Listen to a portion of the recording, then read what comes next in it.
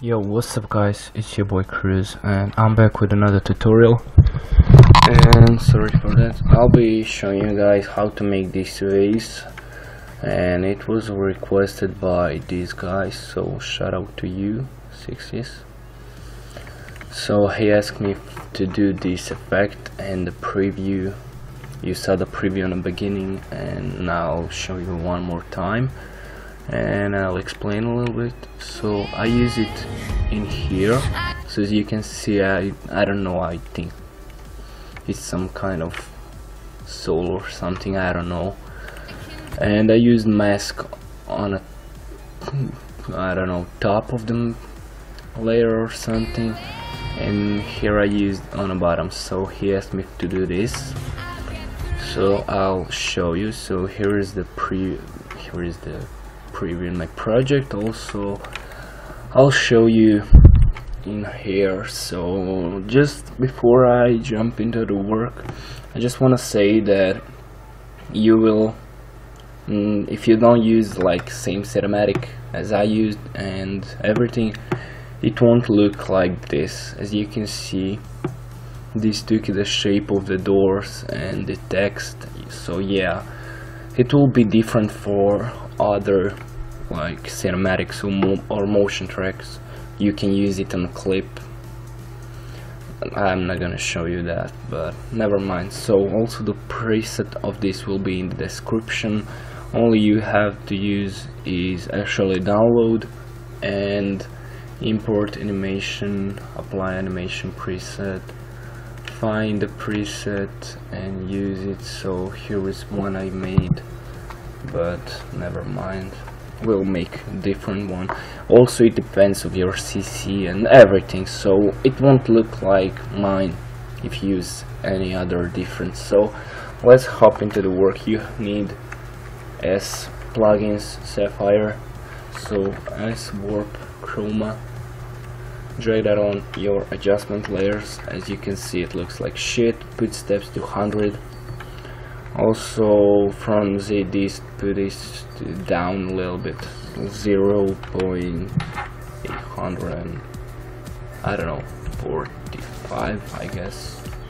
Something like yeah it's fine.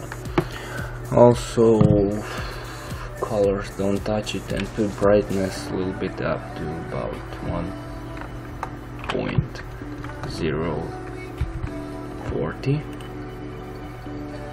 Yeah, you don't see the change. Okay, so as you can see, we get this shit.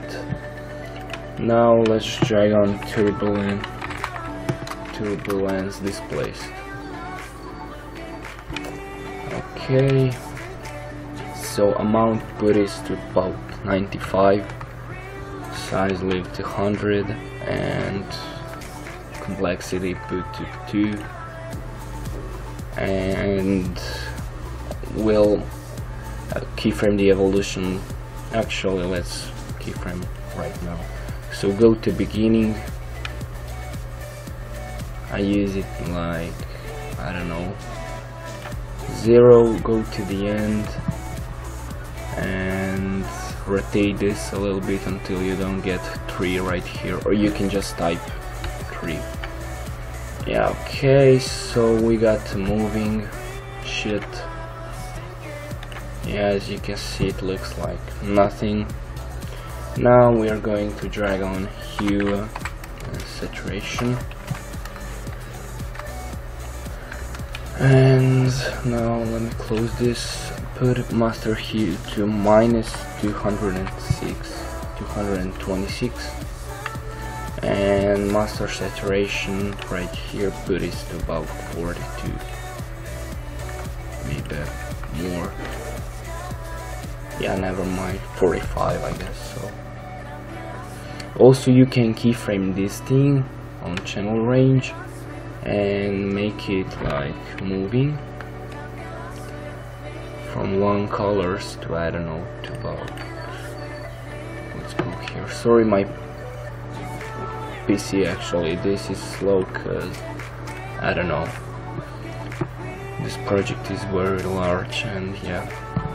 So you can keyframe colors so it will be different but yeah whatever. I'm going to leave that now. Now take take your rectangle tool.